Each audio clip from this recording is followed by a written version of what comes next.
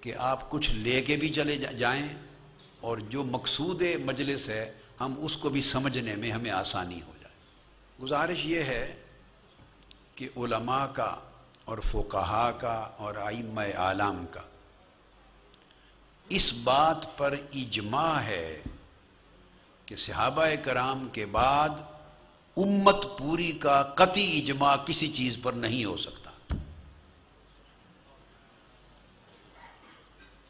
تمام زمانوں اور صدیوں میں علماء کا اس بات پر اجماع ہے کہ امت کا ایک بات پر صحابہ کرام کے زمانے کے بعد کسی نئے دور میں، نئے مسئلے پر قطعی اجماع نہیں ہو سکتا۔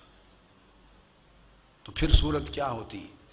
جتنے ہمارے اجماع ہوتے ہیں زمانوں کے، یہ اگر خالصتاً علمی دیانت کے ساتھ بات کی جائے تو یہ اجماع ضنی اجماع ہوتے ہیں قطعی اجماع تو یہ ہے کہ یہی گھر اور عمارت کعبۃ اللہ ہے جس کا آقا علیہ السلام نے طواف کیا، جس کا ہم حج کرتے یہ قطعی اجماع ہے۔ قطعی اجماع تو یہ ہے کہ یہ جو مزار اقدس جالی مبارک کے اندر گنبد خزرہ کے نیچے ہے، یہ آقا علیہ السلاۃ والسلام ہی کی قبر انور ہے۔ جو کہ کسی اور نبی کی قبر انور کے بارے میں ایسا اجماع نہیں ہے۔ قطعی اجماع تو یہ ہے کہ یہ میدان عرفات ہے، یہ مزدلفہ ہے، یہ مینا ہے۔ قطعی اجماع تو یہ ہے کہ نماز پنجگانہ کے یہی ارکان طریقے جو کتب میں ہیں، آقا علیہ السلام سے یہی منقول ہوئے۔ سو جو لطف کی بات یہ ہے کہ اجماع جو قطعی ہے، وہ قطعیات پر ہی ہے۔ جب بھی ضنیات پر اجماع دیکھیں گے، وہ حقیقت میں ضنی ہوگا۔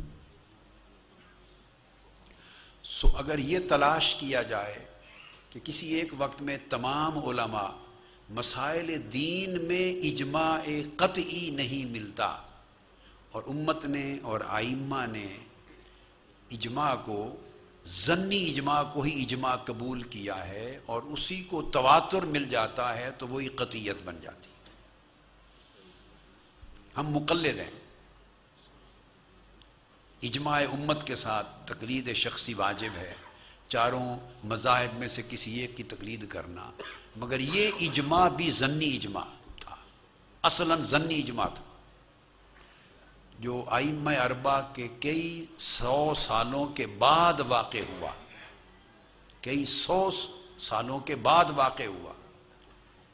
مگر پوری امت اور اہل سنت، چونکہ چار مذاہب میں سے کسی ایک مذہب کی مقلد ہوتی گئی آئم تفسیر تھے آئم حدیث تھے آئم فقہ تھے آئم عقیدہ تھے، علماء تھے، اولیاء تھے، صوفیاء تھے، تمام اقابر چونکہ کسی نہ کسی ایک مذہب کی تقلید کرتے چلے گئے، اجماع کو تقویت ملتی چلی گئی، زمانوں پر زمانے گزرے اور یہ اجماع جو ضنی تھا، اس کو تواتر مل گیا۔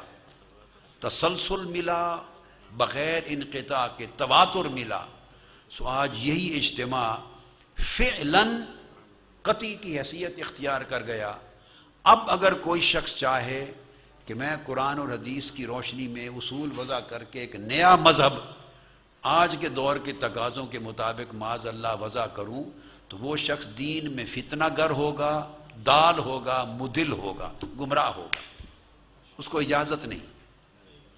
اب کوئی دلیل کو بنیاد نہیں بنا سکتا کہ یہ اجماع امت زنی تھا اور سکوتی تھا، مگر زنی اور سکوتی تھا۔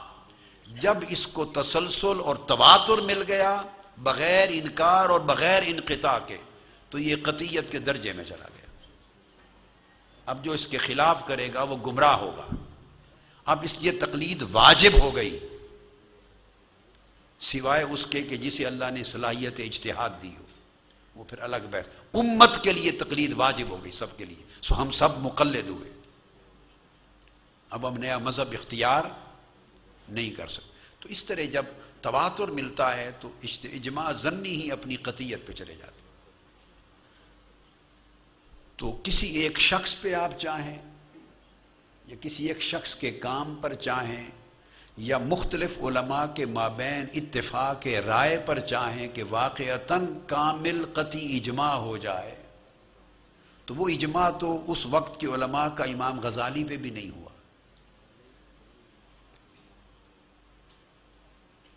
امام اعظم پر نہیں ہوا۔ آپ کے معاصرین تھے جو خدا جانے کیا کیا کہتے تھے آپ کی شان۔ خطیب بغدادی کی تاریخ بغداد ہی پڑھ لیں۔ ڈیڑھ سو صفحے تک، صفحات تک ان کے اوپر تنقیدات، الزامات اور اتہامات کی انہوں نے عبارتیں لکھ دی اسی دور کے لوگوں کے عبارات۔ تھی تو اجماع اما تو علماء امام اعظم کے وقت میں بھی نہیں تھے، امام مالک پر بھی نہیں تھے، امام شافعی پر، امام بن حنبل پر۔ سو ہم کیا کرتے ہیں کہ ہم احناف ہیں، جو بات اند الحنفیہ مذہب مختار ہو اور اکثریت اور جمہور کے ہاں مقبول ہو جائے، ہم اسی کو اجماع سمجھتے ہیں۔ شوافے اپنے ہاں اجماع سمجھتے ہیں، حنابلہ اپنے ہاں مالکیہ۔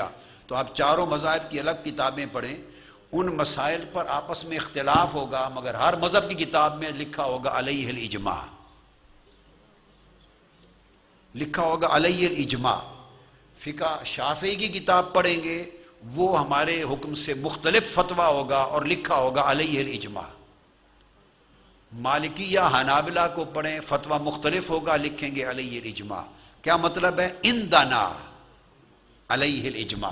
یعنی حنفیہ کے ہاں اس پر اجماع ہے۔ مالکیہ کے ہاں اس پر اجماع ہے شبافے کے ہاں اس پر اجماع ہے، حنابلہ کے ہاں اس پر اجماع ہے۔ تو یہ اس لیے اکابر ائمہ جب ایسا کلمہ لکھتے تھے، وہ اندنا کا لفظ لکھتے تھے کہ ہمارے ہاں العمل الحاظہ اندنا۔ الاجماع علیہ اندنا۔ اس سے وہ جو اپنے مذہب کے اندر کا اجماع کی تحدید سے کلیئرٹی ہو جاتی تھی۔ یہی وجہ ہے۔ کہ امت کا تقلید پر اجماع ہے، مگر ایک مذہب پر اجماع نہیں ہے، چاروں مذاہب ہیں اور چاروں کو ہم حق مانتے ہیں۔ لہذا اس بات پہ کبھی نہ گھبرایا کریں۔ یہ بات میں نے ایک مثبت پیرائے میں عرض کی۔ اس بات پہ گھبراہٹ نہیں ہونی چاہیے کہ تمام اکابر، علماء اور تمام بڑی بڑی شخصیتیں ان ساروں کا کسی ایک پر یا کسی معاملے میں اتفاق رائے کاملاً کیوں نہیں؟ ہو جائے تو بڑی نعمت ہے۔ ہو جائے تو بڑی نعمت ہے، غنیمت ہے، اس میں خیر ہے، صلاح ہے۔ لیکن اگر بعض معاملے پر کسی کا کسی سے اختلاف بھی رہے تو وہ اختلاف اتنی زیادہ پریشانی کا باعث نہ بنے، صرف اتنا اہتمام ہو کہ اختلاف کبھی مخالفت نہ بنے۔ اختلاف اختلاف رہے، ان کا سوال تھا۔ اختلاف اختلاف رہے تو رحمت ہے، اگر وہ خلاف بن جائے تو زحمت ہے۔ بس ہم اختلاف اور خلاف کی جو حد ہے، فاصلہ اور فرق، اس کو اگر مٹا دیں تو نقصان ہے۔ امت کا بھی مسلک کا بھی ہم نے بالعموم اختلاف اور خلاف کے فاصلے کو مٹا دیا۔ ہے جہاں اختلاف ہوتا ہے پھر ہم اس کو خلاف میں اور مخالفہ میں، پھر مجادلہ میں، بدل مناظرہ میں، پھر مجادلہ میں بدل دیتے بس اگر یہ اگلے مرحلے طے نہ ہوں، اختلاف علمی ہو تو حرج نہیں علمی اختلاف صحابہ کرام کے درمیان بھی ہوتے تھے۔ مگر خلاف نہیں ہوتا تھا۔ تابعین، اتباع و تابعین بھی ہوتے تھے۔ ائمہ اربا کے ہاں بھی ہیں۔ صاحبین اور امام اعظم کے مابین بھی ہیں۔ مگر صرف شیوا یہ تھا علم کا کہ وہ اختلاف رہتا، خلاف نہ بنتا، اس لیے وہ رحمت رہتی۔ تو پہلا قاعدہ اتحاد اور باہمی جگانگت کے لیے تو یہ ہے، اگر ہم یہ بات دل میں بٹھا لیں کہ کبھی بھی کسی علمی اختلاف کو باہمی خلاف میں نہیں بدلیں گے، تو پھر اختلاف نقصان دہ نہیں رہتے۔ ایک بنیادی بات۔ دوسری بڑی اہم بات، سوچنا یہ ہے کہ جب ہم بات کرتے ہیں کہ بعض اوقات ہمارے احباب میں، علماء میں وکابر میں اختلاف ہوتا